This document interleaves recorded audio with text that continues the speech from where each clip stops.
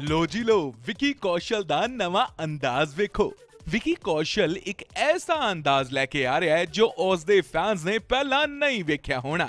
ਅਕਸਰ ਸਬਜੈਕਟਿਵ ਫਿਲਮਾਂ ਕਰਨ ਵਾਲਾ ਵਿਕੀ ਕੌਸ਼ਲ ਇੱਕ ਮਸਾਲਾ ਫਿਲਮ ਲੈ ਕੇ ਆ ਰਿਹਾ ਹੈ ਜਿਸ ਦਾ ਪੋਸਟਰ ਸਾਹਮਣੇ ਆਇਆ ਹੈ। ਫਿਲਮ ਦਾ ਨਾਮ ਹੈ ਗੋਵਿੰਦਾ ਮੇਰਾ ਨਾਮ ਤੇ ਇਸ ਦੇ ਵਿੱਚ ਇੱਕ ਡਾਂਸ ਮੂਵ ਕਰਦਾ ਹੋਇਆ ਵਿਕੀ ਕੌਸ਼ਲ ਦਿਖ ਰਿਹਾ ਹੈ। ਇਸ ਫਿਲਮ ਨੂੰ ਵਾਇਕਮ ਸਟੂਡੀਓਜ਼ ਤੇ ਧਰਮਾ ਪ੍ਰੋਡਕਸ਼ਨਸ ਵੱਲੋਂ ਪ੍ਰੋਡਿਊਸ ਕੀਤਾ ਗਿਆ ਹੈ ਤੇ ਇਸ ਦੇ ਵਿੱਚ ਵਿਕੀ ਕੌਸ਼ਲ ਦਾ ਸਾਥ ਦੇਗੀ ਕਿਆਰਾ ਅਡਵਾਨੀ ਤੇ ਭੂਮੀ ਪੇਡਨੇਕਰ ਸ਼ਸ਼ਾਂਕ ਖੇਤਾਨ ਨੇ ਇਸ ਨੂੰ ਡਾਇਰੈਕਟ ਕੀਤਾ ਹੈ ਤੇ 10 ਜੂਨ 2022 ਨੂੰ ਇਹ ਫਿਲਮ ਸਿਨੇਮਾ ਘਰਾਂ ਦੇ ਵਿੱਚ ਦੇਗੀ ਦਸਤਕ ਯਾਨੀ ਕਿ ਵਿਕੀ ਕੌਸ਼ਲ ਦੇ ਫੈਨਸ ਨੂੰ ਮਿਲੇਗੀ ਨਵੀਂ ਸਟਰੀਟ ਵੈਸੇ ਵੀ ਅੱਜਕੱਲ ਵਿਕੀ ਕੌਸ਼ਲ ਕਟਰੀਨਾ ਦੇ ਨਾਲ ਵਿਆਹ ਦੀਆਂ ਖਬਰਾਂ ਕਰਕੇ ਕਾਫੀ ਚਰਚਾ ਦੇ ਵਿੱਚ ਹੈ, ਲੇਕਿਨ ਹੁਣ ਆਪਣੀ ਫਿਲਮ ਨੂੰ ਲੈ ਕੇ ਵੀ ਚਰਚਾ ਬਟੋਰਨ ਲਈ ਅੱਗੇ ਆ ਗਏ ਨੇ।